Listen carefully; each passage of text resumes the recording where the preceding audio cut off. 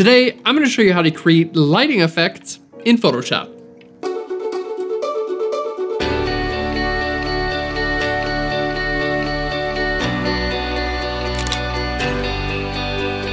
Hey there and welcome to Phlearn. My name is Aaron Nace. You can find me on phlearn.com where we make learning fun. And in today's episode, we're gonna show you how to create lighting effects for images.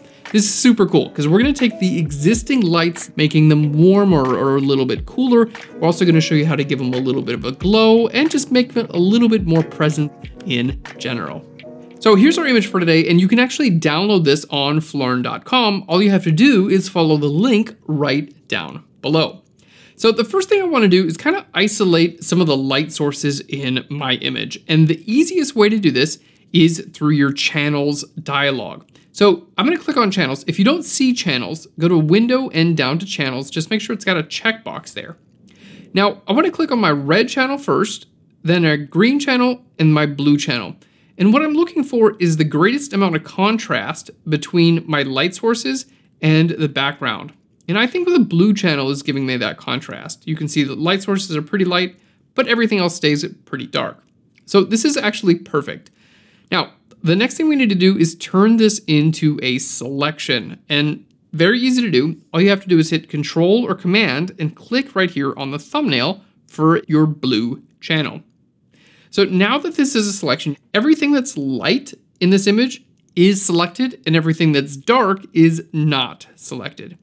So now that we have this selection, we can actually load it into a layer mask and it will control the visibility of a new layer.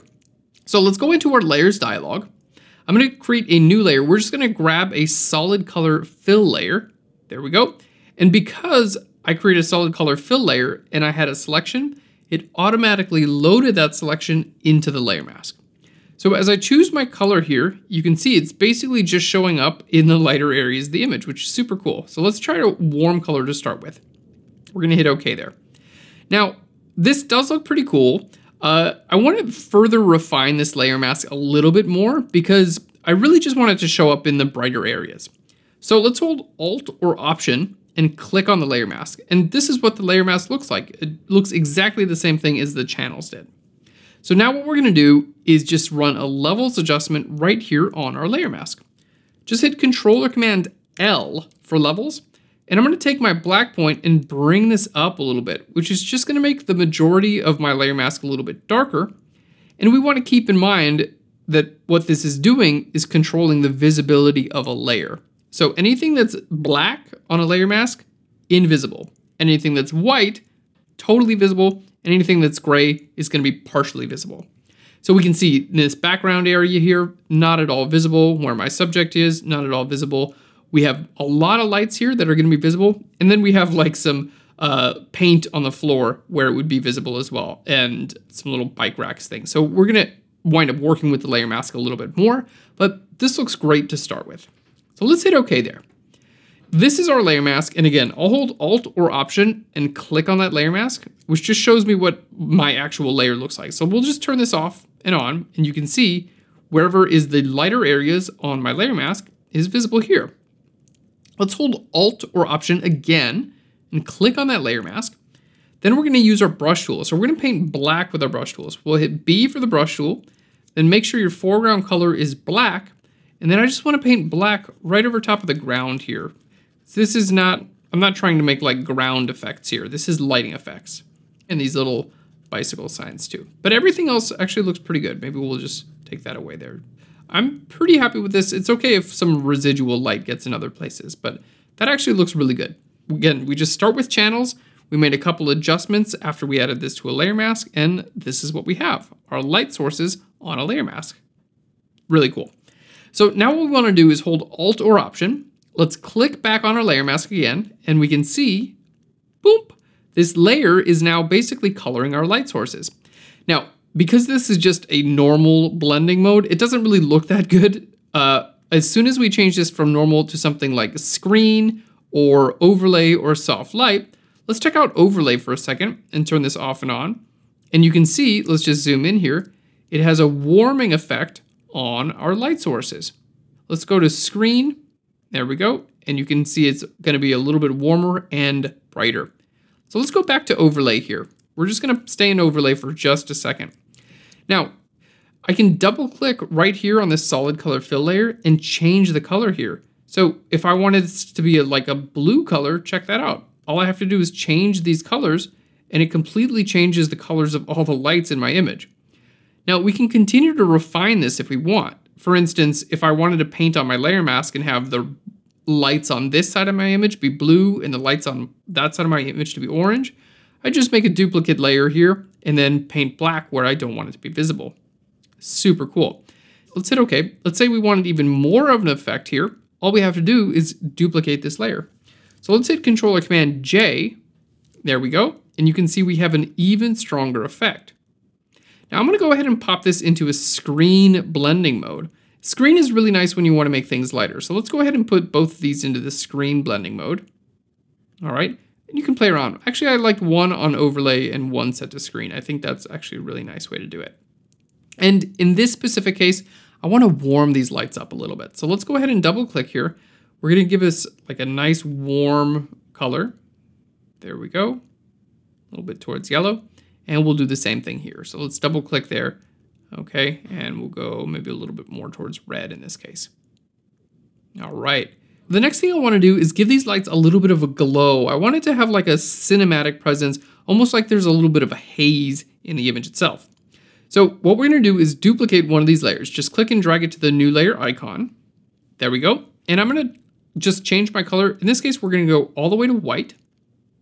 There we are.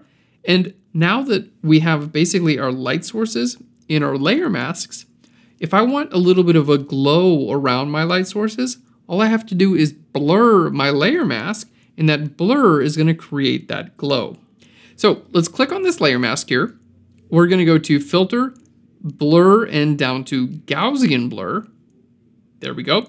And as I change the amount of blur in my image, you can see, look at that, my light sources now have a glow to them. So if I bring this down, there we go, we have less of a glow, and I can kind of just choose this. So that's really nice. Now I kind of like that. I think that looks pretty good. There we go. And of course, you can still do things like change your color. So if I double click here, maybe I want to make this a bit warmer in color. There we go. Now we have like a warm glow coming from all of the light sources. It's so cool. It's like they're a little bit foggy or something like that. You can always blur this layer a little bit more. You can double click here at any time and change the color if you'd like. And if you want the effect to be more subtle, simply lower your opacity, or you can change your blend mode. So right now we're on screen. Color dodge is gonna be like a little bit more intense. Overlay is gonna be a little bit more subtle, and then soft light is gonna be even more subtle. Then if you go into like your hard light and vivid light, these are going to be more intense effects as well. and hard mix just looks fun. All right, well, I think screen actually does a really nice job. I want to give it a little bit more color, so we're just going to go up there just a little bit more. And there we have that glow coming from the light sources in our image. Now, because we changed all those light sources and made them a little bit warmer, just like me on a personal side, I kind of want to see the shadows be a little bit cooler in comparison. So what we're gonna do, real quick, we're just gonna grab our adjustment layer, we're gonna go all the way down to where it says selective color. There we go. And here in selective color, I'm gonna take my neutrals and I'm just gonna push them a little bit more towards cyan. Okay, you can see if we go further, that's what it does. But we're just gonna push a little bit of cyan in there. There we go. And now we have like a nice cyan orange look. And I can pull this underneath those layers and then they'll just kind of like add to that glow right over top.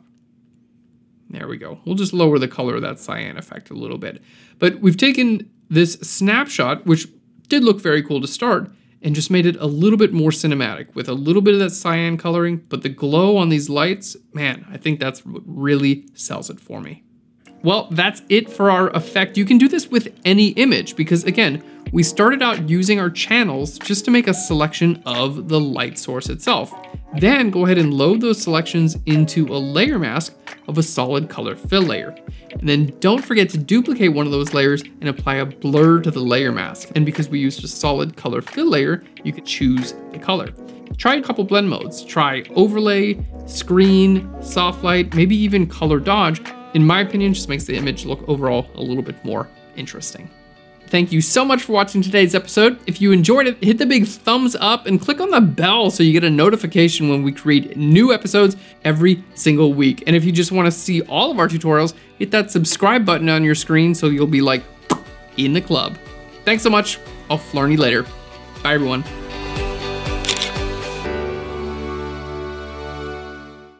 Welcome to the club, the Photoshop club. Hey, can I see your ID to get in? Actually, psych, everyone can get in. It's not exclusive in any way. Well, it's exclusive to the people who want to be in it.